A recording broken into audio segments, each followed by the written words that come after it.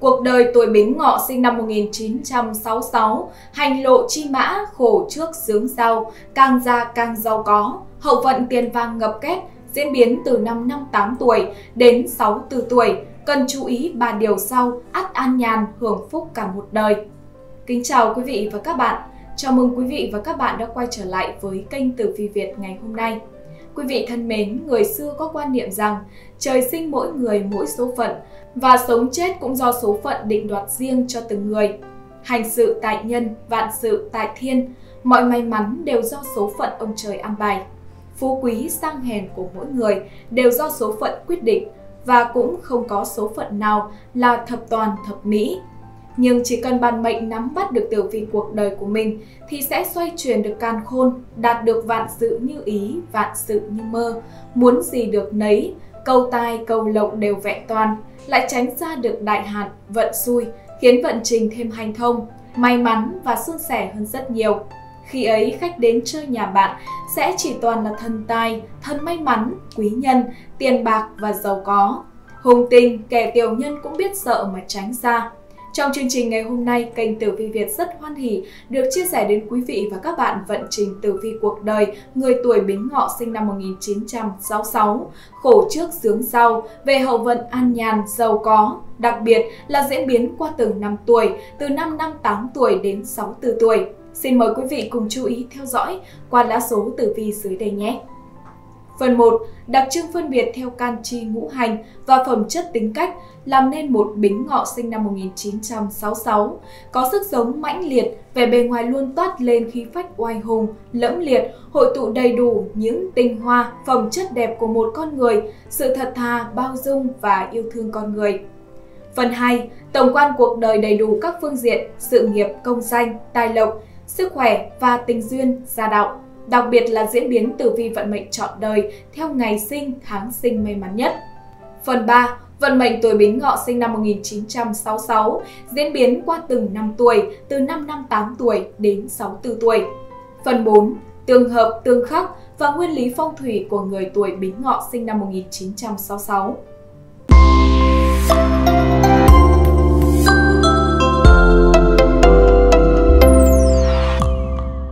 Tuổi ngọ là tuổi của con ngựa. Trong 12 con giáp, ngựa là con vật yêu thích cuộc sống tự do, hoang dã để được hòa mình vào thiên nhiên. Những người tuổi ngọ vì thế mà rất năng động, nhiệt tình, thích những nơi đông người và đam mê khám phá những điều mới mẻ trong cuộc sống. Tuổi bính ngọ hay còn được gọi với cái tên khác là hành lộ chi mã, tức ngựa chạy trên đường. Năm sinh dương lịch từ ngày 21 tháng 1 năm 1966 đến ngày 8 tháng 2 năm 1967, thuộc mạng Thiên Hà Thủy, tức nước sông Thiên Hà. Khắc Thiên Thượng Hỏa, con nhà Hắc Đế tận khổ, xương con ngựa, tướng tinh con thùng luồng, được bà quan âm độ mạng. Mệnh Thủy, Thiên Hà Thủy, tức nước trên trời, tương sinh, mệnh mộc, mệnh kim, tương khắc, mệnh hỏa, mệnh thổ, thiên can bính, tương hợp, tân, tương hình, canh, nhâm, địa chi ngọ, tam hợp, dần, ngọ, tuất, tứ hành xung, tý, ngọ, mão, dậu. Trong số 12 con giáp, ngọ là con giáp thích những sự thay đổi trong cuộc sống nhất. Đó là lý do tại sao họ không bao giờ chịu đứng yên một chỗ. Người này năng động, nhiệt tình với công việc và sẵn sàng giúp đỡ mọi người xung quanh. Họ có thể một mình đảm nhận nhiều công việc mà không hề mệt mỏi, năng động, biết làm ra tiền, thích đi đây đi đó. Tuổi này không thể chịu được các lịch trình, thời gian biểu cứng nhắc cũng như các quy định và quy tắc nhỏ nhặt. Đơn giản là họ không có đủ thời gian hoặc sự kiên nhẫn cho những thứ này. Tuổi ngọ là con giáp du mục, đi tới lui từ chỗ này, dự án nọ sang chỗ khác, chương trình khác. Giỏi là biết làm ra tiền, làm ra tiền cốt để thỏa mãn ước vọng ngầm, là cũng có chút đỉnh với người ta. Tuy vậy, tuổi này vừa lo làm ra tiền mà vẫn giữ được tính độc lập và tự do cho mình. Mặc dù tuổi này không có tính phô trương lắm, nhưng cũng gắng tỏ ra là mình biết, mình khôn, mình giỏi một phần nào đó.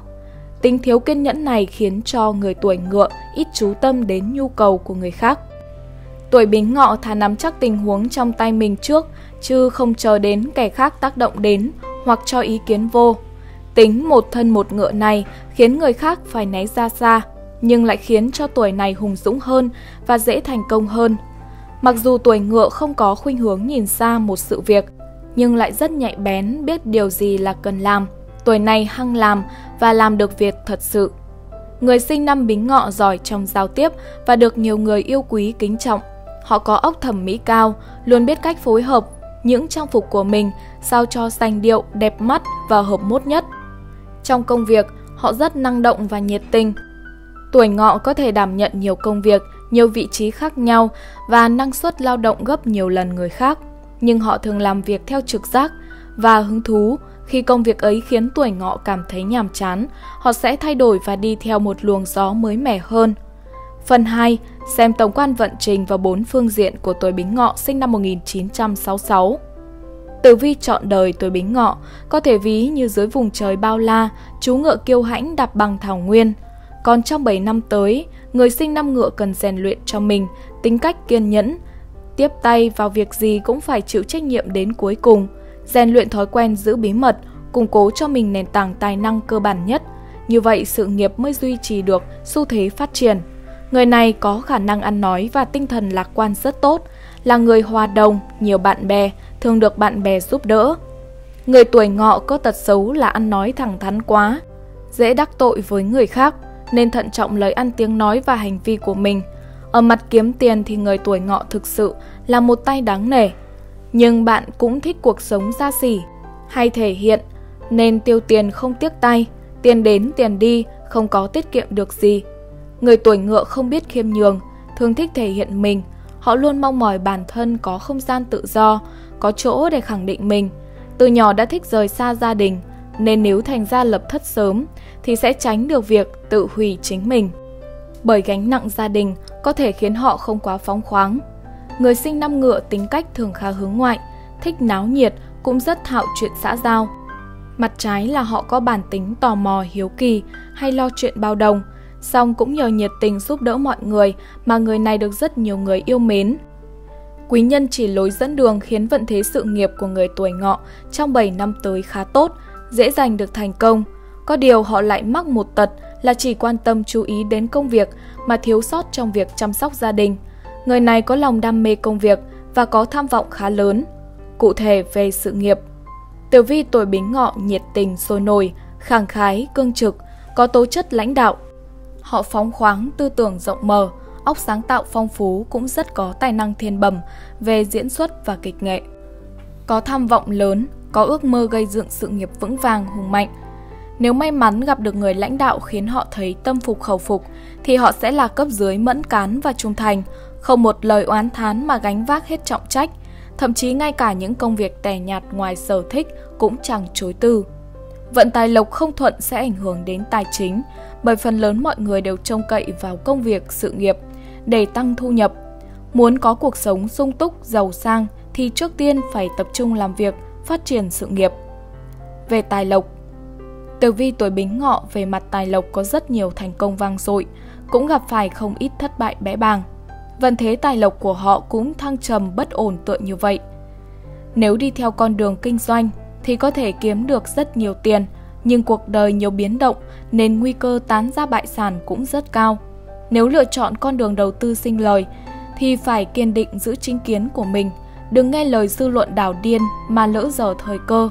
Phải kịp thời nắm bắt cơ hội và có kế hoạch đầu tư hợp lý, có như vậy mới có được thành công. Song phải luôn nhắc nhở mình về vận thế bất ổn. Chỉ cần bạn lơ là mất cảnh giác là có thể phá sản như chơi. Chính vì thế mà trước khi quyết định một chuyện lớn hay đầu tư vào lĩnh vực gì, cần suy xét kỹ càng và cân nhắc thật cẩn trọng. Hãy tìm những đối tác làm ăn là những con giáp hợp với tuổi của bạn. Đối với tuổi ngọ đó chính là tuổi dần và tuổi tuất. Đây là những vị quý nhân đem lại may mắn, tiền tài cho bạn. Về tình cảm và gia đạo Tử vi tuổi bính ngọ mặt tình cảm, lãng mạn mà sôi nổi. Họ coi trọng về bề ngoài nên rất dễ rung động trước cái đẹp. Người này yêu nhanh mà kết thúc cuộc tình cũng nhanh không kém.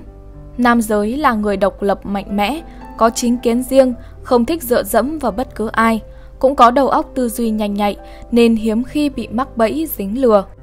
Lại thêm tính cách cẩn trọng, không hay ỉ lại vào người khác Vì vậy trước khi làm bất cứ điều gì, họ đều nghiên cứu rõ ràng, trong tình cảm rất ít khi bị chơi đùa lừa gạt.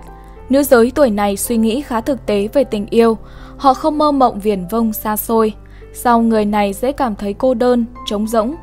Nên nếu có một người dang rộng vòng tay bảo vệ và che chở thì họ sẽ không ngần ngại gì mà đón nhận. Tuy nhiên nếu tình cảm quá nồng nhiệt, mạnh mẽ thì có thể sẽ khiến họ có chút suy nghĩ. Trong tử vi, mùi và ngọ tạo nên một góc lục hợp, do đó mùi được gọi là lục hợp quý nhân của tuổi bính ngọ. Tuổi bính ngọ nên tìm đối tượng kết hôn cầm tinh con dê để xây dựng hôn nhân bền vững, tốt đẹp. Người tuổi ngọ còn hợp với người tuổi dần và tuổi tuất. Ba con giáp này tạo thành một góc tam hợp, là những con giáp thích hợp để kết hôn của người tuổi ngọ. Ngoài ra đào hoa quý nhân của tuổi ngọ là tuổi mão, kết hợp với người tuổi mão, vận đào hoa của các chú ngựa sẽ nở rộ. Về mặt sức khỏe Tử vi tuổi bính ngọ mặt sức khỏe ngũ hành thuộc hỏa, dương khí quá vượng nên âm khí dễ suy, hay bị nóng trong, bức bối khó chịu. Hỏa khí thông với tâm, tâm là hòa tạng, chủ mạch máu chính, có vai trò cực kỳ to lớn trong sinh lý con người. Tâm chủ tăng thần, thất thần giả vong, đắc thần giả sinh.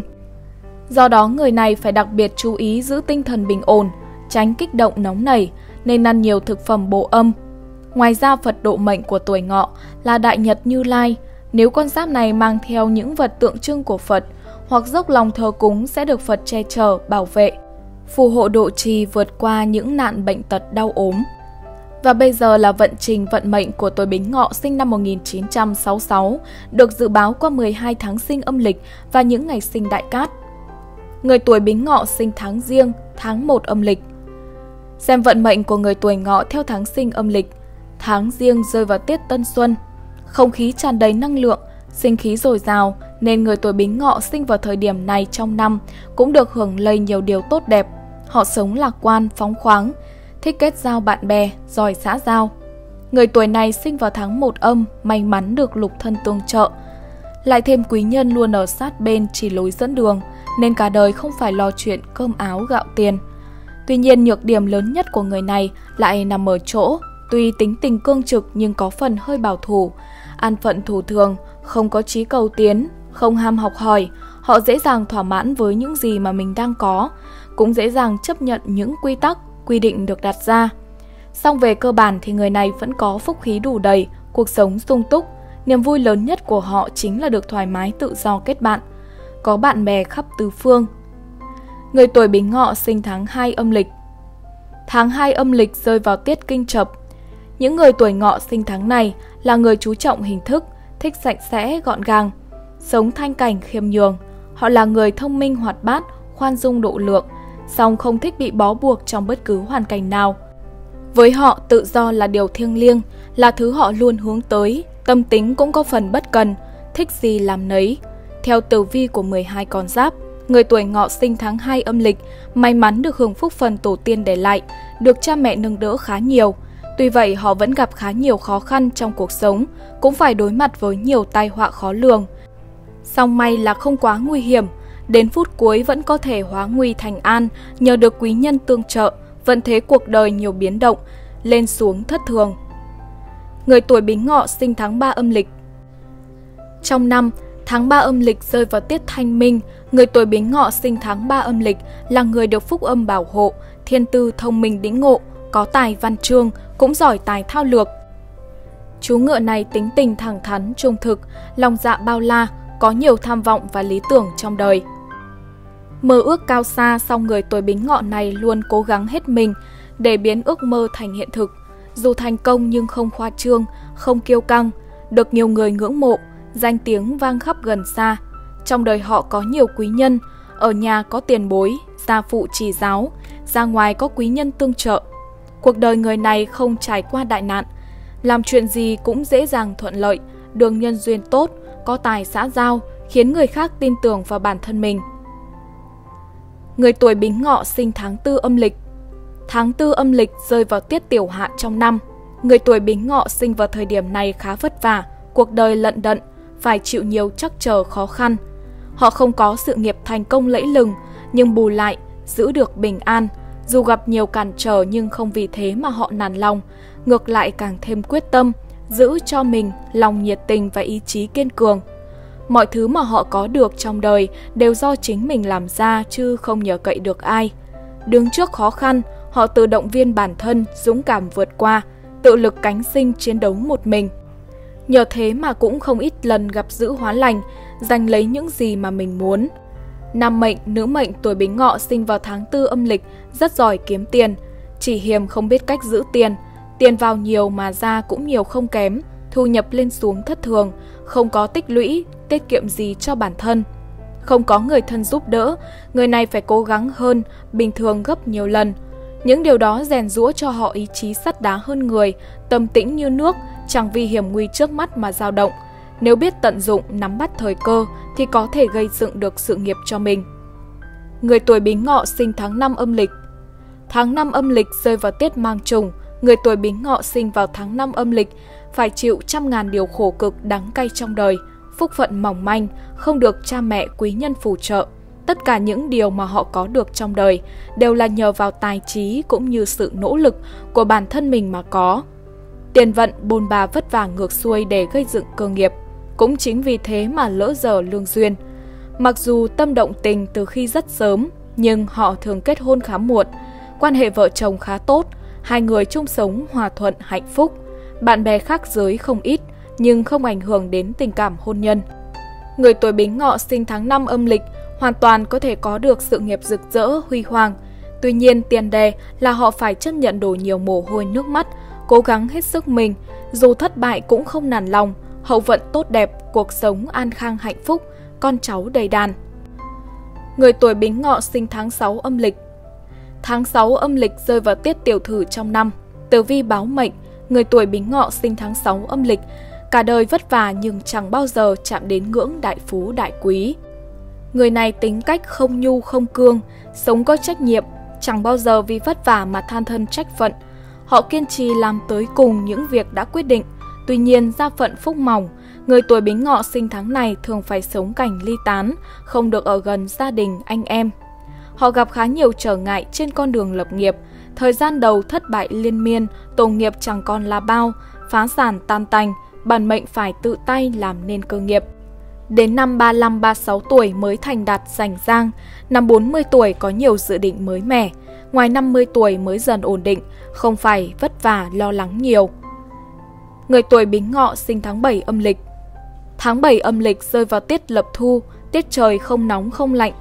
Người tuổi Bính Ngọ sinh tháng này thông minh hơn người, khả năng lĩnh ngộ tốt, học một biết 10, cuộc đời người này khá suôn sẻ, không phải trải qua kiếp nạn gì lớn, Họ luôn khao khát hướng đến thành công, khí chất cao nhã, có sức hút mãnh liệt. Lại thêm tinh thần ý chí dồi dào, người tuổi Bính Ngọ sinh tháng 7 âm lịch, nhờ thế mà dễ dàng dùng tài năng của mình để hưng gia vượng nghiệp, tạo dựng được nhiều thành công trong cuộc sống. Thêm quý nhân trợ lực, bản mệnh phát huy hết mức tài năng của bản thân để đạt được mục tiêu. Tuy nhiên trong hành trình vẫn cần phải đề phòng tiểu nhân đeo bám, họa khẩu thiệt thị phi, tranh đoạt lợi danh rất rõ, dễ vướng phải họa quan tụng. Người tuổi Bính Ngọ sinh tháng 8 âm lịch. Người tuổi Bính Ngọ sinh tháng 8 âm lịch chính là tiết bạch lộ trong năm, có trí tuệ hơn người, văn võ song toàn hiếm ai bì kịp. Họ thông minh lanh lợi, phẩm chất cao đẹp, có trí khí, trọng nghĩa, trọng tình. Nhờ quý nhân ở bên chỉ đường dẫn lối, cộng thêm bản mệnh, nỗ lực cố gắng không ngừng nghỉ, nên giành được nhiều thành công trong cuộc sống cũng như trong công việc – Cuộc đời không trải qua sóng to gió cả, là người có phúc phận, phúc thọ song toàn, tài đức đủ đầy, được nhiều người yêu mến và kính trọng, cũng được cấp trên tin cậy, đào tạo làm tầng lớp kế cận. Người tuổi Bính Ngọ sinh tháng 9 âm lịch. Tháng 9 âm lịch trong năm là tiết hàn lộ. Người tuổi Bính Ngọ sinh vào tháng 9 âm lịch, cả trí thông minh và năng lực bản thân đều đạt ở mức xuất sắc hiếm có. Là bậc kỳ tài trời sinh, nếu biết hướng đến mục tiêu cao đẹp thì hoàn toàn có thể thay đổi vận mệnh. Cuộc đời của họ khá bình thường, bản thân những chú ngựa này cũng không có ý chí, lý tưởng gì to lớn, chỉ muốn bình an trải qua một ngày, không mong chờ cầu tiến. Họ có tài nhưng không muốn nỗ lực cố gắng nhiều, không có mục tiêu phấn đấu. Người này cả đời không quyền không thế, chỉ muốn tìm cây cao bóng cả để tựa nhờ. Dù có công việc ổn định nhưng tài lộc không nhiều, hễ gặp khó khăn là dễ dàng thoái chí. Tuy nhiên, nếu biết xác định phương hướng phân đấu cho mình, nỗ lực không ngừng, phát huy hết tài năng của bản thân thì tiền đồ vô lượng, thành công nhiều không kể xiết. Người tuổi Bính Ngọ sinh tháng 10 âm lịch. Tháng 10 âm lịch rơi vào tiết lập đông, người tuổi Bính Ngọ sinh tháng này đều mang mệnh anh hùng hào kiệt. Thời trai trẻ, họ phải trải qua khá nhiều gian nan vất vả, nhưng đều có thể vượt qua. Cuộc đời người tuổi Bính Ngọ sinh tháng 10 âm lịch, đan xen giữa may mắn và xui xẻo, hạnh phúc và khó khăn. Không được người thân che chở, cũng chẳng có quý nhân nâng đỡ, mọi chuyện đều phải dựa vào chính sức mình. May nhờ ý chí kiên cường, nghị lực sắt đá, lại tài năng hơn người, nên con giáp này không phải nếm trải quá nhiều thất bại. Họ là hình mẫu điển hình của người tay trắng làm nên cơ nghiệp. Trung vận may mắn gặp được quý nhân, hậu vận hưởng phúc thái bình. Từ trung vận trở đi, người tuổi bính ngọ sinh vào tháng 10 âm lịch, vận trình tăng tiến, phú quý phát đạt, thành công rực rỡ. Người tuổi bính ngọ sinh tháng 11 âm lịch. Tháng 11 âm lịch trong năm là Tết Đại Tuyết, vận mệnh của người tuổi bính ngọ sinh vào tháng 11 âm lịch. Cũng như nhuốm màu băng tuyết, khó có được sức sống của mùa xuân. Họ phải bôn ba xuôi ngược, không được người thân giúp đỡ, cũng chẳng có tổ nghiệp tương trợ. Người này tính tình hòa nhã, trung thực, tiền vận gặp nhiều rắc rối đa đoan, lúc nào cũng hầm hưu, đơn thương độc mã. Tới năm 28-29 tuổi, vận thế mới dần tốt lên. Năm 35-36 đến năm 40 tuổi, vận khí vượng khai, xuân về hoa nở, thành công rực rỡ. Đó là nhờ họ không nản lòng trước hoàn cảnh khó khăn, nỗ lực hết mình để thay đổi hiện tại mà có được. Ban đầu vị trí xã hội tuy nhỏ nhưng về sau có thể làm nên chuyện lớn, gây dựng lại tổ nghiệp lẫy lừng, như cây khô gặp mùa xuân, đâm chồi nảy lộc. Người tuổi Bính Ngọ sinh tháng 12 âm lịch, tháng Chạp. Tháng 12 âm lịch rơi vào tiết tiểu hàn, cuộc sống của người tuổi Bính Ngọ sinh tháng này nhiều chuyện phải lo phiền. Tuy nhiên cũng may, gia đình hòa mục, thời trẻ lại chăm chỉ học hành nên ra ngoài được nhiều người nể phục. Tài năng cũng có được là nhờ rèn rũa, tư chất thông minh, lại có thêm công dùi mài đèn sách nên càng thêm giỏi giang. Người tuổi Bính Ngọ sinh tháng 12 có ý chí và nghị lực phi thường, luôn cố gắng nỗ lực không ngừng nghỉ, không ngại khó, ngại khổ, không sợ gian nan, không sợ thất bại. Dù chưa thể lập tức thuận buồm xuôi gió làm nên cơ nghiệp mà phải chịu nhiều khó khăn vất vả, nhưng người này cuối cùng sẽ có được cuộc sống an lạc, thành quả to lớn, hậu vận có phúc có lộc, con cháu đầy đàn. Xem những ngày sinh đại cát của những người tuổi bính ngọ có tác dụng dự đoán vận trình tốt xấu, đồng thời ngày sinh là một trong những yếu tố quan trọng có ảnh hưởng lớn tới cuộc đời của một người. Vì vậy mà xem bói ngày sinh hay xem ngày sinh đại cát của người tuổi bính ngọ thực sự là thông tin thú vị, cần thiết mà bản mệnh nên tìm hiểu. Trong khuôn khổ video này, kênh Tử Vi Việt xin đưa ra dự đoán hung cát để từ đó thành cơ sở luận số mệnh. Người tuổi bính ngọ sinh vào ngày mùng 2, tuy không nhận được sự trợ giúp từ cha mẹ, gia đình, gia tộc, nhưng lại có quý nhân vận cực kỳ tốt, thường xuyên có bạn bè che chở và ủng hộ, nên vững bước thành công, sự nghiệp rộng rãi. Người tuổi bính ngọ sinh ngày mùng 6, mệnh có tài khố, chủ về nắm vững tài chính, có khả năng quản lý tài sản, đắc tài đắc lộc, dư giả giàu có, vận may lâu dài, một đời không lo cơm áo gạo tiền. Người tuổi bính ngọ sinh ngày mùng 9 thông minh lanh lợi, có năng lực và tài nghệ nổi trội, đặc biệt là tài văn chương. Nếu tiến công theo con đường học vấn chắc chắn sẽ hưởng vinh hoa phú quý, dạng danh.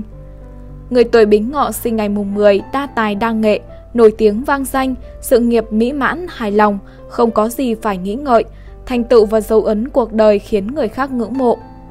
Người tuổi bính ngọ sinh ngày 13, tướng mạo đoan chính, tính cách thành thật và tốt bụng, làm việc kiên trì, chăm chỉ, tới nơi tới chốn, nên rất được tín nhiệm, giao trọng trách lớn, có nhiều thành công. Người tuổi bính ngọ sinh ngày 14, thân thể khỏe mạnh, tính cách ôn hòa nhã nhặn, biết lễ nghĩa, coi trọng đạo đức, giữ chữ tín, sự nghiệp hanh thông, có chức có quyền, mệnh chủ về lãnh đạo và dẫn dắt. Người tuổi bính ngọ sinh ngày 19, thông minh sáng dạ, là nhân tài xuất chúng có sự nghiệp vang dội, thành công hiền đạt, danh tiếng lan xa, nữ mệnh tốt hơn nam mệnh, là người phụ nữ khiến nam giới phải kiêng nể. Người tuổi bính ngọ sinh ngày 20, có mệnh mang phúc, tướng mạo tràn đầy quý khí, con cháu đông đúc, hậu nhân giỏi giang, sống lâu trường thọ, gia nghiệp thịnh vượng, có tài có thế, một đời phú quý, cuộc đời toàn vẹn, không có một điểm nào cần nghĩ ngợi lo lắng cả. Người tuổi Bính Ngọ sinh ngày 29 có phúc tinh lâm mệnh nên cần sự thành công, vạn sự như ý, tỷ sự cát tường, thành gia lập nghiệp đều thuận buồm xuôi gió, hanh thông trôi chảy. Người tuổi Bính Ngọ sinh ngày 30, thông minh đa tài, tướng mạo đẹp đẽ lanh lợi, hôn nhân như ý, cuộc đời bình an cát tường, việc gì cũng thông thuận dễ dàng. Phần 3 là vận mệnh người tuổi Bính Ngọ sinh năm 1966, diễn biến cụ thể qua từng năm tuổi, từ năm 58 tuổi đến năm 64 tuổi. Năm năm 8 tuổi, tức năm Quý Mão 2023. Xem tử vi năm 2023 của tuổi Bính Ngọ, con giáp này vận trình không ngừng tăng tiến, tài lộc khá vượng. Nhất là chính tài nổi trội, thể hiện nguồn thu của người tuổi ngựa chủ yếu đến từ công việc chính của bản mệnh. Trong thời gian này, bản mệnh có quý nhân giúp đỡ, vì thế mà bước đường phía trước ngày càng hanh thông suôn sẻ. Mệnh chủ sắp xếp công việc tốt, năng lực cũng không tồi, hiệu quả làm việc tăng cao. Những chú ngựa tập trung cao độ vào công việc của mình nên tránh được khá nhiều sai sót không đáng có. Bản mệnh giữ được mối quan hệ tốt với đồng nghiệp. Ngoài việc hòa đồng với mọi người thì con giáp này nên tránh ra chuyện thị phi, đừng bàn tán chuyện không phải của mình. Mọi chuyện đừng quá gay gắt, cái gì có thể bỏ qua thì nên bỏ qua. Thêm bạn thêm vui, chưa đừng đắc tội với người khác mà tạo thêm kẻ thù cho mình. Trong quan hệ với cấp trên, nên khéo léo để không trở nên quỵ lụy, xun xoe quá mức. Cuối năm con giáp này sẽ được tăng lương thăng chức. Sức khỏe của tuổi ngựa trong năm khá bình ổn, tuy nhiên vì ham mê làm việc quá mức mà có thể dẫn đến những chứng bệnh nghề nghiệp như đau lưng, mỏi vai, thoái hóa đốt sống, nên điều chỉnh lại chế độ làm việc của mình, làm việc nhưng cũng cần phải vận động xen kẽ, không nên ngồi một chỗ quá lâu, ăn uống thiếu điều độ cũng có thể khiến cho tiêu hóa có vấn đề. Hãy đi thăm khám ngay khi thấy bất ổn. Năm năm 9 tuổi, tức năm Giáp Thìn 2024. Người tuổi Bính Ngọ năm 2024 này vận trình không được như ý muốn, sự nghiệp bị cản trở rất nhiều. Bản thân con giáp này kiến thức chuyên môn không vững vàng nên khả năng thăng tiến cũng thấp. Bản mệnh dễ phạm sai lầm, bị khách hàng đối tác phản ánh, thành tích làm việc kém, dễ nảy sinh tranh chấp, xung đột với cấp trên, lại bị tiểu nhân lén tung lời đồn thổi thị phi, khiến cho thân bại danh liệt, làm gì cũng khó khăn hết mức. Về phương diện tài lộc, con giáp này chi nhiều hơn thu, các khoản thu nhập sụt giảm, dễ gặp phải khủng hoảng tài chính. Trong năm giáp thìn, bản mệnh nên tìm cách giữ tiền là hơn, đừng tùy tiện thay đổi công việc, hành sự cũng nên thận trọng, hạn chế ra ngoài rượu chè tiếp khách. Nên dành thời gian để bồi dưỡng thêm kiến thức, củng cố chuyên môn, cũng có thể đi chơi, đi du lịch một thời gian ngắn để giải tỏa áp lực, nạp lại năng lượng cho công việc mới. Năm 60 tuổi, tức năm Ất Tỵ 2025. Xem tử vi năm 2025 của tuổi Bính Ngọ, con giáp này sự nghiệp đang trên đà thăng tiến rất tốt, quý nhân nâng đỡ, bản mệnh dễ dàng đạt được mục tiêu mong muốn, nắm bắt được những cơ hội hiếm có. Sự nghiệp phát triển tốt và thuận lợi nên khả năng được tăng lương, thăng chức vào thời điểm cuối năm là rất lớn. Thu nhập chính của con giáp này trong năm Ất Tỵ về cơ bản vẫn là thu nhập từ công việc chính. Có điều người tuổi này cần phải lưu ý hơn đến các mối quan hệ xã giao, nên dĩ hòa vi quý là hơn, đừng vì chuyện nhỏ mà phát sinh mâu thuẫn, cãi cọ với đồng nghiệp.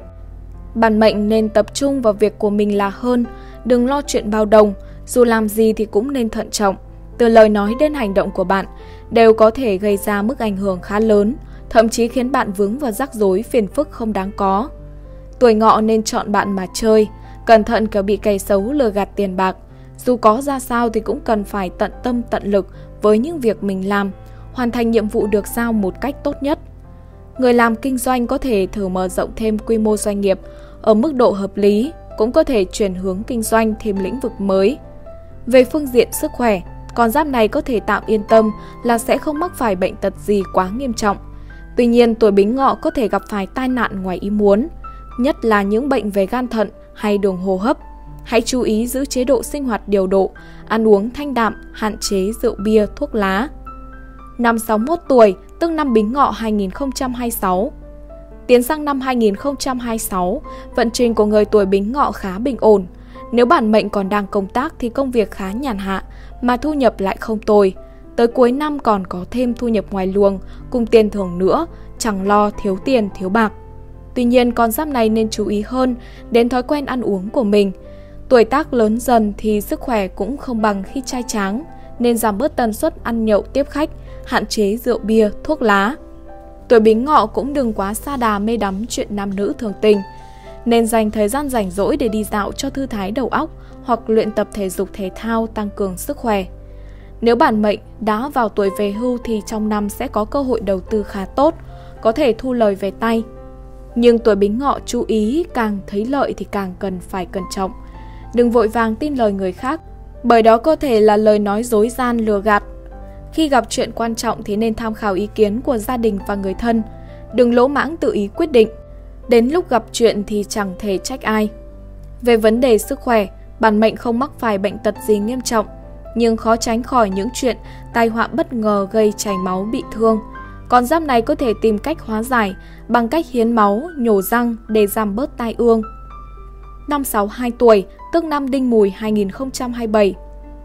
Năm 2027 là một năm bình ổn đối với người tuổi Bính Ngọ, tuy nhiên đôi khi sẽ có những chuyện không mong muốn xảy ra. Bản mệnh cần phải chuẩn bị trước tâm lý, cho dù phải đối diện với những trắc trở khó khăn nào, cũng không nên nhụt chí, sợ hãi hay bi quan, mà nên giữ tâm lý ổn định, tích cực. Trong vấn đề tài chính, con giáp này cần phải có những suy nghĩ thật là cẩn thận và thấu đáo, không nên mù quáng nghe theo những nguồn thông tin bên lề hoặc từ những người không đáng tin. Ở vào thời điểm này, tuổi bính ngọ không nên lựa chọn đầu tư. Trường hợp xấu nhất có thể khiến bản mệnh rơi vào cảnh túng thiếu, mọi công sức lao động đổ sông đổ bể. Cho dù làm bất cứ công việc gì, người tuổi này cũng cần quan sát để ý tình hình thị trường. Làm gì cũng cần phải chuẩn bị sẵn sàng đường lui cho bản thân mình. Về vấn đề sức khỏe, bản mệnh không nên làm việc quá sức. Nếu có vấn đề bất thường thì cần phải đi khám xét kịp thời, không nên trần trừ do dự, kéo dài thời gian ủ bệnh. Khi có những biến cố bất ngờ xảy ra, cần giữ tâm lý vững vàng, không nên quá kích động gây ảnh hưởng cho tim mạch, huyết áp, thần kinh.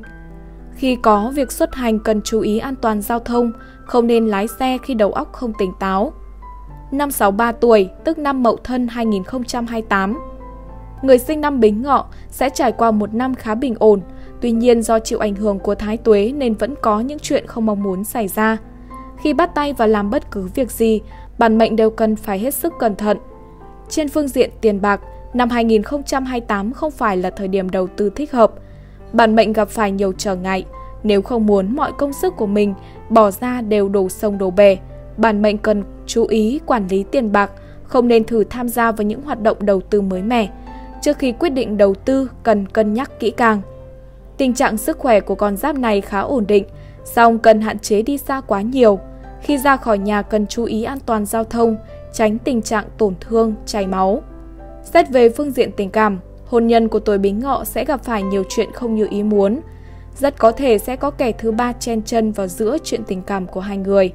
Nếu không có cách xử lý thỏa đáng thì rất có thể sẽ rơi vào tình trạng chia ly tàn vỡ.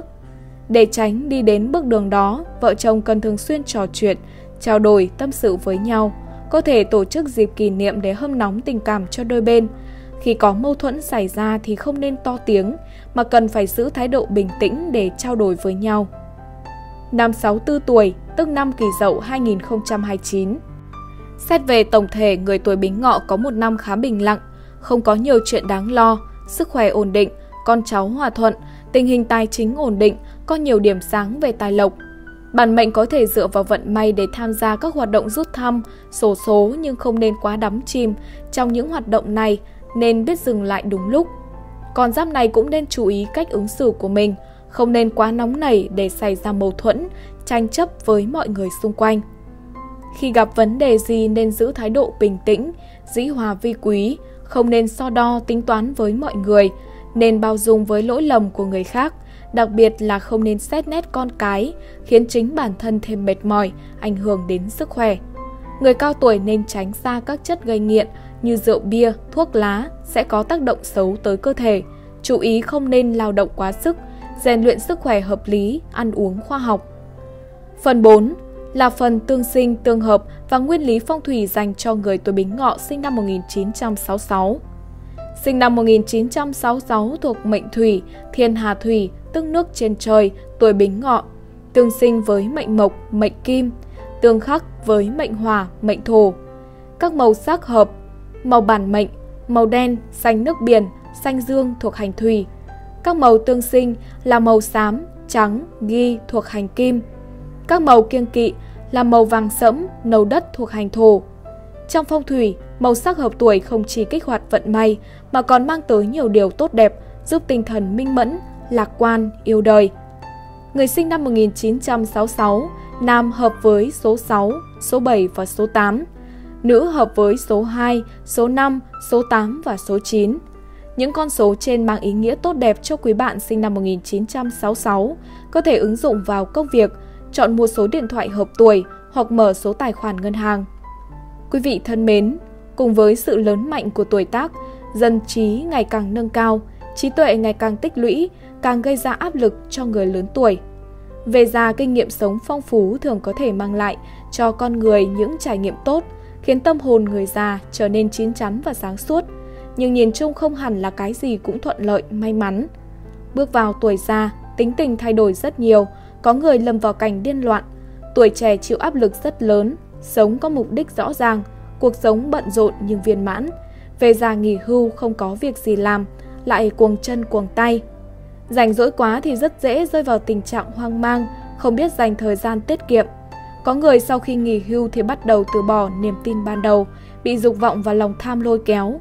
Kết quả là cuộc sống của họ trở nên rối ren, mệt mỏi.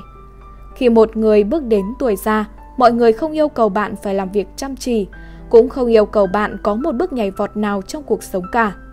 Lời Phật dạy về đạo làm người chỉ mong bạn biết vun vén cho trái tim của chính mình. Đừng đánh mất chính mình trong chặng đường cuối cùng của cuộc đời. Biết trân trọng mọi thứ bạn thực sự có là chìa khóa của hạnh phúc. Trên đây, Tử Vi Việt đã chia sẻ toàn bộ thông tin tử vi tuổi Bính Ngọ trong 7 năm tới ở đầy đủ các khía cạnh của cuộc sống. Dù chỉ là những dự đoán sơ bộ, nhưng mong rằng chúng hữu ích với bạn và người thân. Chúc quý vị luôn may mắn ngập tràn, hạnh phúc thăng hoa.